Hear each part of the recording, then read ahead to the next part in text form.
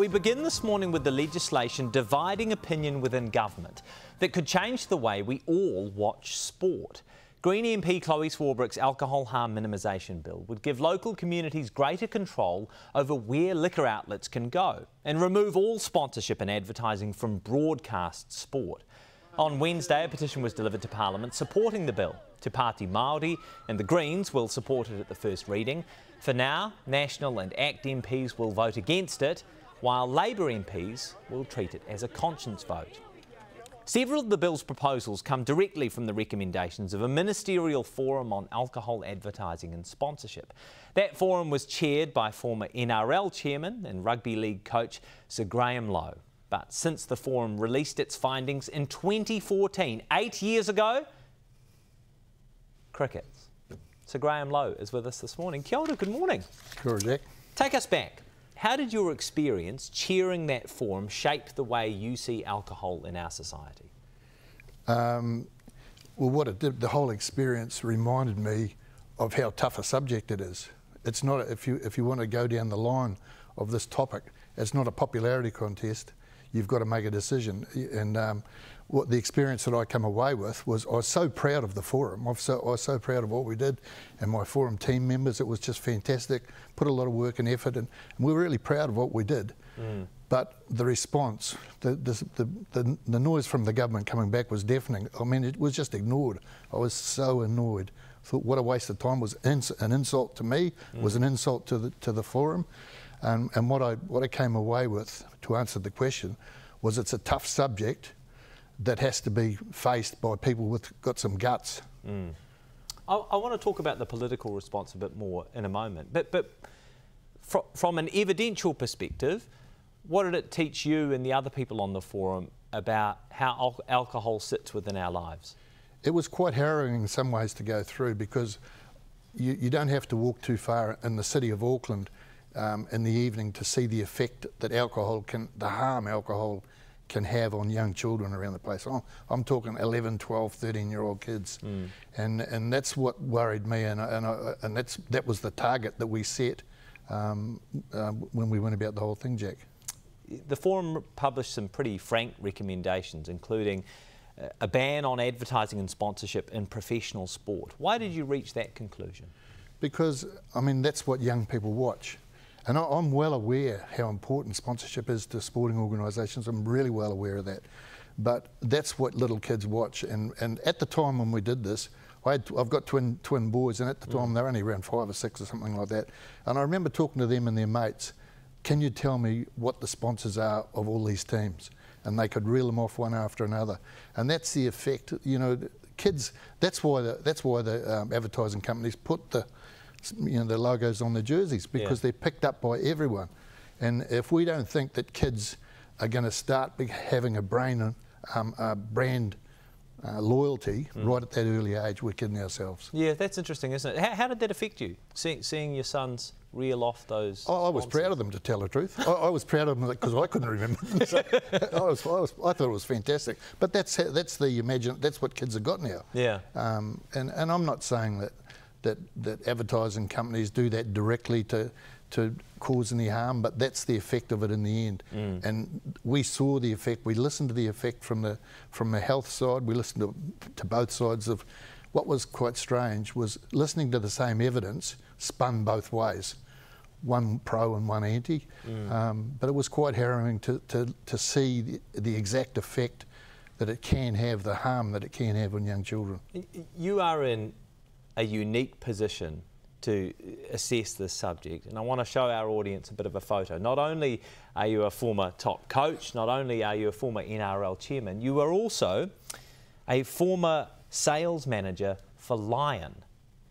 So, having published your recommendations as part of that forum, given your background, did you get pushback? Did, did some of your friends or family say, Lowy, what are you up to? No, quite the opposite. I mean, it's a tough it's a tough subject. You don't do it to win a popularity contest. And, and I, I was really pleased. I can't recall one single incident. And I, I, know, I know, I still know plenty of people in the alcohol uh, industry who are great people, but I never had, um, I never had any issue whatsoever. It wouldn't have worried me if I did, mm. but I never had any issue whatsoever because I think everyone realises this has to be faced at some mm. stage. It's no different to cigarettes and the challenge that was faced when they decided to, to shift the cigarettes out of sport. Mm. Like I said, you, you, have experience as the chairman of an NRL club. How important is CEO. alcohol? Uh, CEO, sorry. How, how important is alcohol advertising and sponsorship to professional sports teams? It's it's absolutely important. It's really it, because it comes in such it's such a big amount. It's mm. such a huge amount of money. It's probably in many cases bigger than any of the other, uh, other sponsors they've got, and it's a low hanging fruit. The alcohol companies are very willing to to to talk to you and get you to get their product, you know, out on the screen as quickly as they can. So, it's it's a it's a you know match made in heaven in some ways as far as the club and the and the uh, the alcohol people are concerned. Um, so the the sporting clubs just love it. It's low hanging fruit. It's easy to get. So what would happen if we banned it? Well, the thing with, with this, in my view, has always been with the professional organisations. Mm. They've got to cast their thousands in their marketing teams, or you know they've got good, strong marketing teams. So, mm.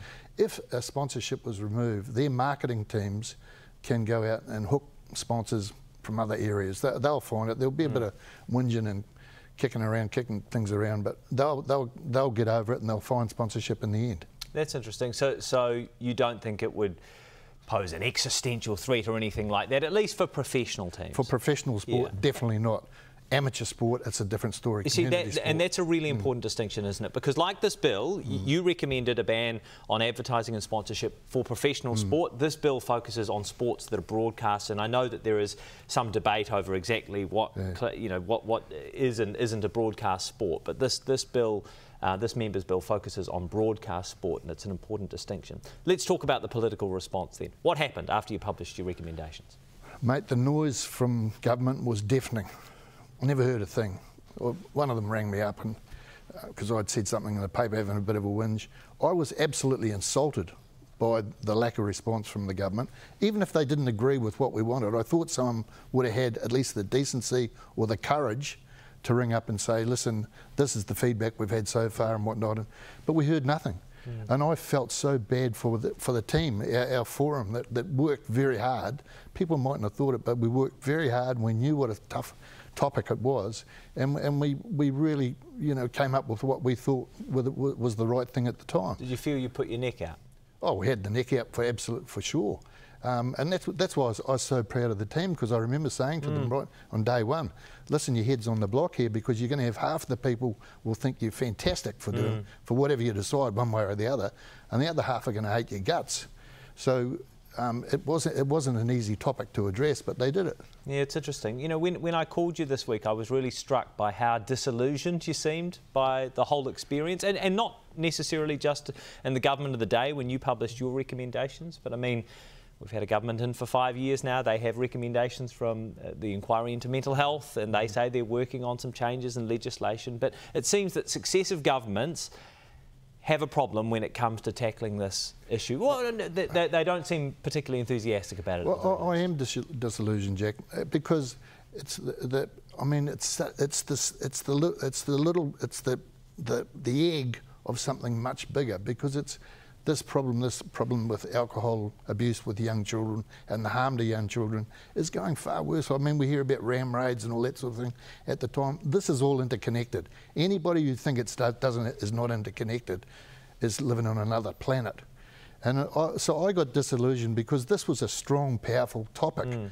And, I, and, and to do it, I, I sort of I, I went into it 100% and tried to tried to do it justice. Mm. And I thought it deserved at least a response in some way from mm. someone from government. But we didn't get any response. So I am disillusioned with the whole thing because too many of the politicians think they're in there to win a popularity contest. They're not. They're there to, to put forward and act on tough decisions. And I don't think they've got the guts to do it. Yeah, to, to tell me a bit more about that. Why don't you think politicians tackle this subject more assertively? Because they want to be popular. It's as simple as that. They want to be popular. They, they, they don't want to. I mean, to, if you want to be a, mm. if, if you want to be popular, you sell ice creams. You certainly don't put yourself in Parliament. And I think we've got too many people in there that should be selling ice creams because these tough call these tough calls need tough people to do them. And it's not personal. No one's taking anything personal. Mm. They, they're just calls that need to be made. It's it's like it's no different to picking a footy team. If you've got 18 players and you can only play 15 or 13, mm. you have to go up and say to those other players, you're not in the team. That's, that's really, it's not easy to do. People think it is. Mm. It's not easy to do. Most of the politicians couldn't even do a thing like that. You said that all of these issues are interconnected, and I think we'd all agree on that, that the social issues uh, are all woven together. There's complexity in that. I, I wondered, would you, would you support a ban on gambling advertising in broadcast sport? I think it's got to be addressed. I, think it has to be addressed. It's, uh, you know, because it is. It's. You, there's so there's so much evidence everywhere. You don't have to listen to the academics to get the evidence. You just got to open your eyes and your ears and go for a walk around where you live, and you'll see the result of people who are gambling and addicted to gambling who can't afford to do that. Not thinking of standing for the Greens anytime soon, are you, Lowy? no, I'm not. No. um, this bill is going to be going for its first reading sometime in the next few weeks. What would be your message to politicians as they consider which way they'll vote? Uh, I think that they've, they, ca they can't just dismiss it. This is something that's been going on for ages. I think that it's a tough call. They'll be you always history is always the judge. History is the judge. So I think if I was a politician, I'd want history to judge me as I made a call and the first thing, I, the main thing I had in front of my mind when I was making this decision was the harm to young children that can be caused by alcohol advertising in sport. Thank you very much for your time. And before we let you go, happy birthday. 76 today. Oh, come on. You don't look a day over 45. Thank you very much. Thank you very much. Sir Graham Lowe.